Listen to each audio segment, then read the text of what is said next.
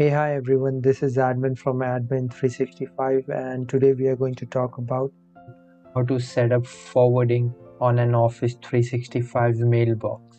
So let's get started. Before we start the topic, a small introduction about me. I currently work as Microsoft 365 support ambassador for Microsoft. Our day-to-day -day routine is to take care of service requests created around Microsoft 365 products and services. So please do consider subscribing for exclusive content and the resolutions for common issues with Office 365 and let's resume the topic.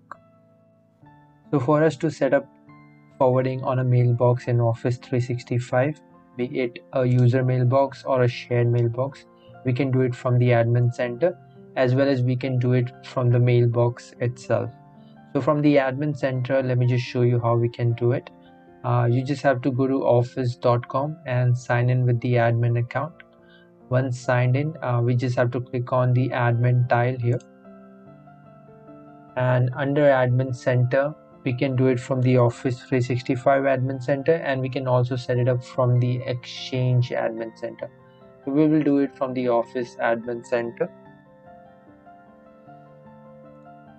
Alright, so once we are in the Office Admin Center, which is Microsoft 365 Admin Center, we just have to go to Users and then Active Users.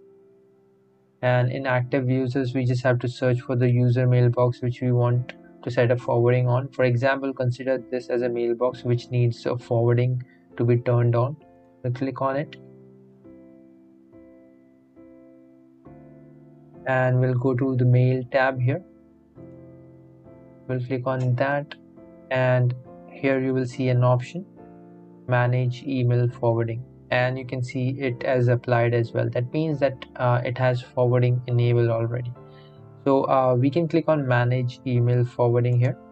And in this option you can see here forward all emails sent to this mailbox. And the forwarding email address you can add the email address which you want to send your emails to I would recommend having this checked here.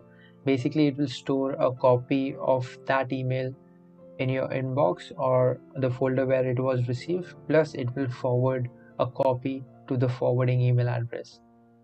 In that way, uh, you will have two copies of the email, one on the original mailbox and the other on the forwarded mailbox.